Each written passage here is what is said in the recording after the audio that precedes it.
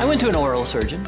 My facial surgeon did a great job. I had to see an oral and facial surgeon. My dentist sent me to an oral and maxi... Maximal. Maximus. Maxil. Maximili- Maximus. An oral and maximilio surgeon, or something like that. Officially, we're called oral and maxillofacial surgeons, and we're the experts in face, mouth, and jaw surgery. Members of the American Association of Oral and Maxillofacial Surgeons are trained and experienced in all these treatment areas. Our work saves lives, changes lives, and makes lives better. I'm not sure what to call him exactly.